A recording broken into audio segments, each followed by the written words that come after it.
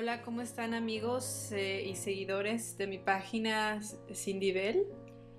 Eh, el día de hoy, 30 de agosto, me acabo de enterar em, por medio de redes sociales eh, que una de, de, mis autores favoritos, uno de mis pues maestros de la metafísica desde que iba en la preparatoria, desde que tenía 15 años, que hizo, que hizo y me ayudó a hacer cambios espectaculares en mi vida. Eh, hablo y hasta se me quiebra la voz porque para mí ella fue una punta de lanza para hacer muchos cambios, tanto internos como externos. Yo sin saber que era metafísica, ¿no?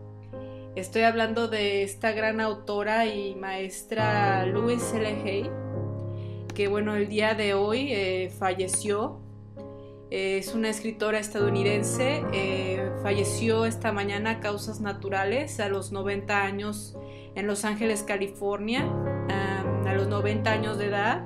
Extrañamente muere eh, el mismo día de hace dos años que, fallece Wayne Dyer, otro de, los escritores que, me cambiaron la vida en momentos muy difíciles. Eh, él falleció hace dos años, 30 de agosto precisamente. Bueno, esta autora, eh, quien no la conoce, es una autora de metafísica, autoayuda, poder personal, poder de la mente. Eh, ella eh, hizo un libro que fue bestseller, fue ventas increíbles, que fue el libro de Tú puedes sanar tu vida en 1976 donde se toca el tema del cuerpo y las enfermedades y cómo lograr superarlas a base del perdón, a base del poder mental, a base de la metafísica. Eh, esta autora logró publicar decenas de libros donde se tocaba temas de las emociones, como ya mencioné antes, de la metafísica, eh, traducidos a decenas de idiomas alrededor del mundo. Eh, afirmaba que la vida es un espejo y está llena de nosotros al mismo tiempo. Invitó a reflexionar al lector sobre su entorno y, de cómo se manejan los momentos tristes y alegres en nuestro cuerpo, cosa que lo creo totalmente. Eh, el universo es mental. Y bueno, les recomiendo algunos de los libros, que es El poder está dentro de ti, El poder de la palabra, Tú puedes sanar tu vida, que ya lo mencioné, Gratitud, Afirmaciones de Luis L. Hay, sana tu cuerpo, ámate a ti mismo, eh, cambiarás tu vida. Usted puede sanar tu vida, como ya lo mencioné. Eh, el espejo, que es mirror eh, y muchos de, miles y miles de libros y audios que hizo esta gran autora. Estoy muy triste, ¿por qué? Porque siempre fue mi sueño conocerla, pero me quedo en paz porque esta autora nunca tuvo miedo a la muerte, ella sabía que era algo natural, ella sabía que es un proceso que vamos a evolucionar y ella creía 100% que existen otras frecuencias y otras dimensiones donde vamos a encontrar esas personas que amamos pues no me conoció, pero yo la conocí y para mí es un maestro espiritual para miles y millones de gente que le cambió su vida.